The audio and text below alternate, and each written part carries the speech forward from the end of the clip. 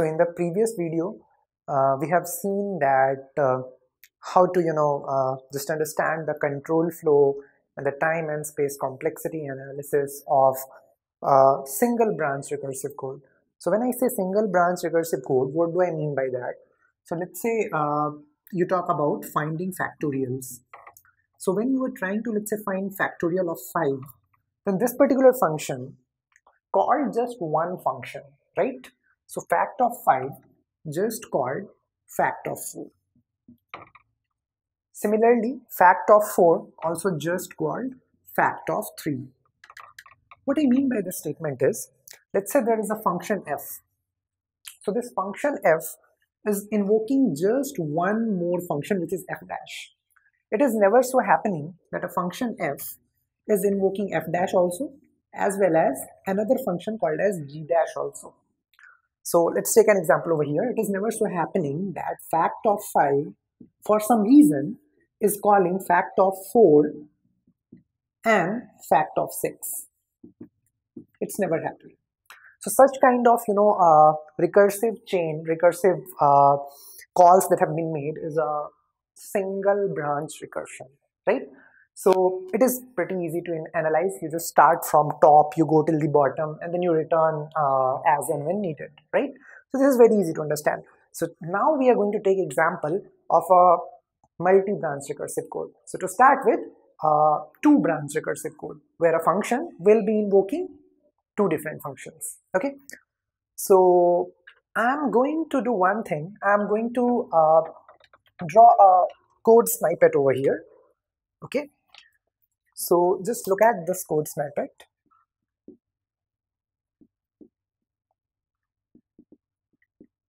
So there is a function which takes in an integer and it returns nothing okay? And here is the piece of code written. So first thing it does is it prints the value of x okay? And then it checks if x is greater than equal to 3 in this case it is going to return so what is the meaning of return semicolon for a void function so ideally, uh, void function should not have a return statement. It should not return anything, right? But return semicolon is uh, as good as writing exit. So it simply means to say that, hey, now you should exit, right?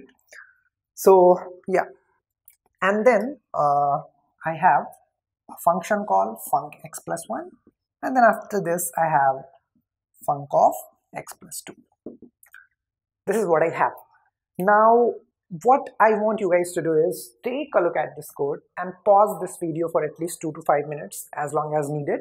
And then you predict what should be the output of this code if the initial call has been made from main function and main function has invoked it for func of 0 okay?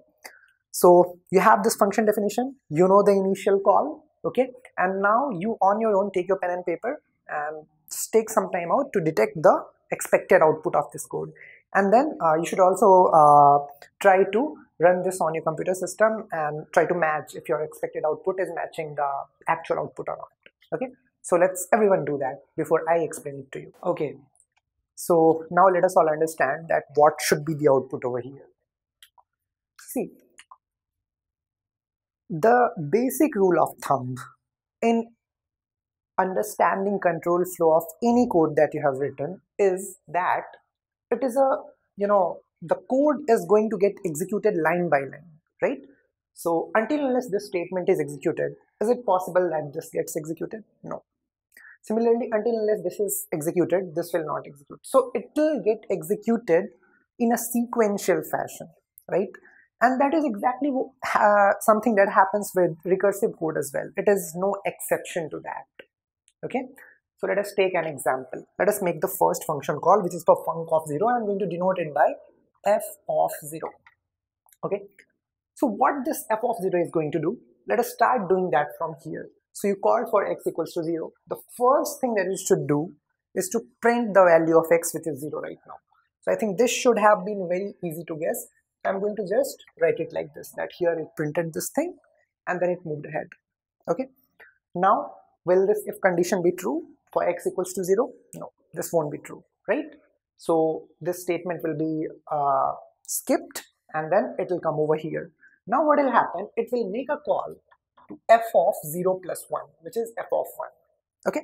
Now, when f of 1 has been called, then the control will pass over to f of 1. So now the control no longer resides at f of 0, right?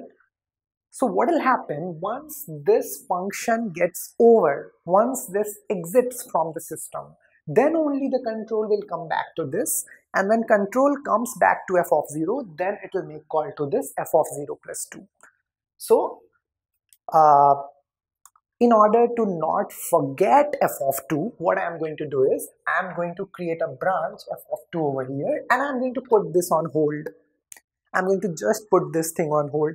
Now you see this entire thing, thing is going to look like a recursion tree okay? Where all of these function calls are nothing but nodes nodes of the tree. And every node explodes. And when it explodes it either does something or it makes call to some other function okay? But the rule of thumb is that this will not get executed until unless this has got executed.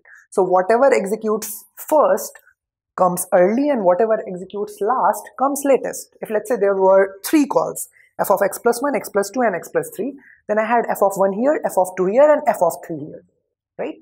So that is the order which I am going to follow. And this is a very classy way to uh, detect the output of any recursive code snippet. So understand it very, very clearly, okay? So now what will happen? f of 1 will start executing, right? And why I have f of 2 waiting over here? Because the codes are executed sequentially, right? And uh, if I don't put it over here, it might so happen that once I'm done with this and I come back to the parent, I might forget this thing that this even existed. That is the reason I am putting it somewhere for my memory to uh, not falter and take one from there. Okay, so now f of 1 has been invoked. So what will happen? f of 1 will first print the value that is 1, right? Now, will this condition be true? No, this condition won't be true. So now it will come to f of 1 plus 1, which is nothing but f of 2 and now until unless this has got executed this will not start right so what will happen that this f of 3 will be kept on hold so now you do now you do see this thing clearly that this f of 2 which was earlier waiting for f of 1 is now waiting for f of 3 as well as f of 2 and f of 2 is wait and f of 3 is waiting for f of 2 right so this is how it happens. Whatever is last in, that is first out. Okay. So now when you come to f of 2, what is going to happen? So again, the first thing it will do is to print the value 2. This condition will be false for x equals to 2 and then it will make call of f of 3. And then here it will make call of f of 4. Right? So see, this is how it is happening. So, you know, if you take a look at this entire thing which is going to, you know, get seen over here it is just the output which I am going to see if I had made a function call for func of 1. So this is a subtree within this entire big tree. Okay, and every subtree which is rooted at a particular function call denotes the output of the recursive code if the recursion had been initiated with that particular value of x. Right? So this is the thing over here. So now again, yeah, coming back. So now f of 3 is going to execute. So f of 3, first thing it will do is print the value 3. And now will this condition be true? Will it be true? Yes, it will be true. So what will happen? It will return. What does return mean? Return simply means that this function will now exit. The moment it exits, where will the control go? So whether a function returns something or exits something, the control passes on to its parent. And what is the parent? Parent is this. Now what will happen at f of 2? f of 2 will now, so imagine there was an f of 2 that printed this value 2 that underwent this check that made a call for f of 3 which just exited. So now it should do f of 4 and I have this f of 4 over here, right? So I have not forgotten it. So now you come at f of 4. f of 4 will kick in. It will print the value of 4 and then this condition will be true for it, right? So this will also exit. Now once this exits, what happens? Again, the control passes on to the parent and parent is f of 2. Now what happened for f of 2? f of 2 executed all its statements. So if a function has finished executing all its statements, what does it do? It simply exits, right? So since it exits, what will happen? The control now will flow back to its parent, which is nothing but f of 1. And now what f of 1 will do? Now it will start from f of 3. Again, this f of 3 is going to exactly look like this f of 3, right? And you know that why. So this f of 3 will first print 3 according to this and then this condition will be true and then this will also return, right?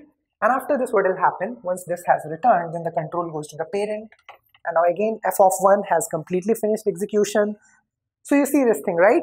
That f of 1 I had said this basically is going to represent the output if the function call was invoked for x equals to 1. That has been done. Now once this is completely over, then only this kicks in. The same thing happened here also. Once this was completely over, then this kicked in. Once this was completely over, then this kicked in. You understand the correlation, right? Now again, at the level of f of 2, can I say that whatever is this thing will simply come over here? It will. You can try that out. For f of 2 again, the first thing it will do is it will print the value that is 2 and then this condition is false so it will invoke f of 3 and then f of 4 will be on hold. Now again f of 3 what will happen? It will print the value which is 3 okay and then this condition will be true so this will return. Now again it goes here and again it comes here prints 4 returns. And then again control comes over here f of 2 is over so the control goes over here. Entire f of 0 is over. So that is how the control finishes. Order of output is very very easy to understand. It is from left to right. So the first thing to be printed was 0 over here okay? And then everything of this will come up. In which fashion left to right again. So now 1 will come and then for this 2 then 3 then 4 then 3 and then I have 2 and then 3 and then again 4 so the output that I have is 0 1 2 3 4 3 and then 2 3 and 4 that is what my output is so this kind of thing is also called as recursion tree diagram So given any kind of code snippet, you should be able to draw its recursion tree diagram and it is very easy. Just blindly follow the instructions and start with a root node and start creating these edges. Okay, and you know what to execute first and what to execute later. Just keep executing them and then you will be able to know how the right kind of output is coming up. Okay, cool.